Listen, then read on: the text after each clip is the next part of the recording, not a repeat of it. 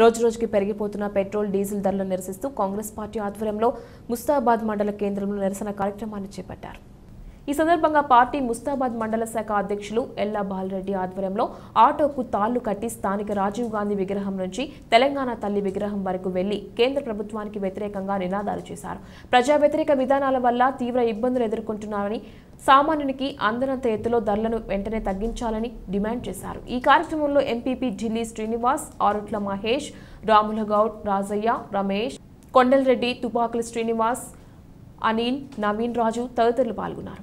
తోటి భారతదేశం ప్రజలు అందరూ అతలాకుతలమవుతున్నటువంటి సమయంలో కూడా పెట్రోలు డీజిల్ వంట గ్యాస్ ధరలు కేంద్ర కేంద్ర ప్రభుత్వము విచ్చలవిడిగా పెంచుతూ ప్రజల యొక్క నడ్డి విరుస్తూ ఉంది. దినదినం కూడా పెట్రోల్ డీజిల్ పెరగడం వల్ల సామాన్య ప్రజలు చాలా ఇబ్బందికి గురవుతున్నారు నిత్యావసర సరుకులు అయితే ఆకాశం అంటే రేట్లకు వెళ్ళిపోయినాయి. వెంటనే తగ్గించాలని చెప్పి కాంగ్రెస్ పార్టీ ముస్తాబాద్ మండల శాఖ తరఫున మేము డిమాండ్ చేస్తున్నారు. పెంచకుండా ప్రజలకు అందుబాటులో ఉంచింది.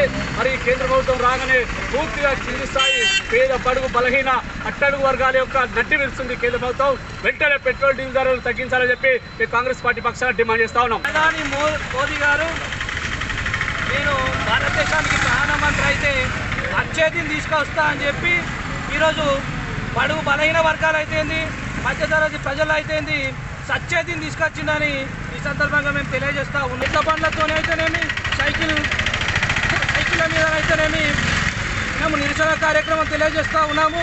దీనికి ఖచ్చితంగా సిరిసిల్ల జిల్లా వ్యాప్తంగా ఉన్న కాంగ్రెస్ పార్టీ కార్యకర్తలు అయితేనేమి అదేవిధంగానేమి ప్రజలైతేనేమి ఖచ్చితంగా ఈ కార్యక్రమంలో పాల్గొని విజయవంతం చేయవలసిందిగా కోరుచా ఉన్నాం.